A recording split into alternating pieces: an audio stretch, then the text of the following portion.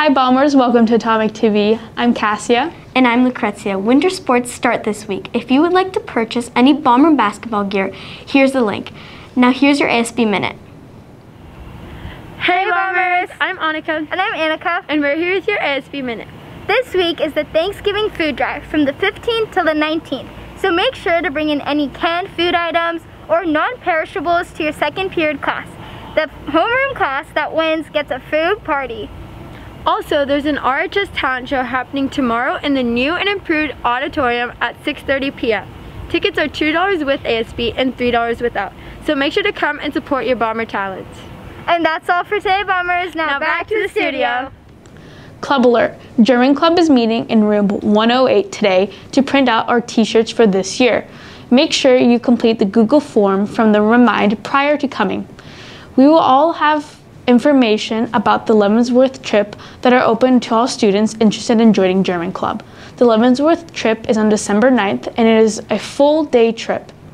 The library is helping promote American Education Week. Stop by to check out the book display and take home some bookmarks. Club Alert FCCLA meets today from 2:30 to 3 p.m. Shout out to the choir and the orchestra students who made all state groups. Here are some of the students who have been selected.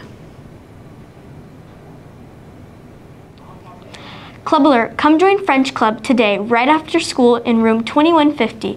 They'll be making waffles, pizza, and decorating their class.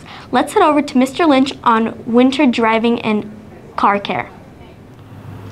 Hey Bombers, I'm here with Mr. Lynch. So what class did you teach at RHS?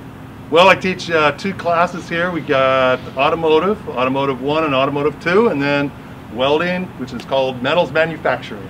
Yeah. So with winter coming up, what's some advice you have for new drivers with this being their first winter? Well, for new drivers, um, it's kind of a new ball game, a new experience driving. You have to be slow. You have to uh, practice, practice in a place that, you know, in a parking lot that is not uh, obviously doesn't have anybody in it. And you really do need to practice stopping.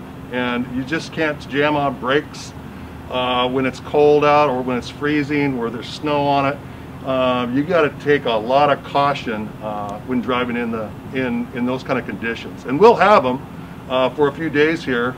Uh, we always do in Richland.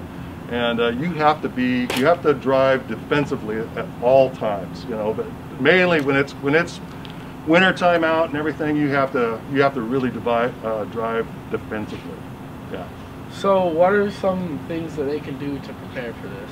Okay. Well, um, for winter driving, you want to have the right tires on. Okay. So you want to make sure that your your uh, snow tread is on if you have them. If you have if your parents have uh, snow tires that they put on during winter, now's the time to be putting them on.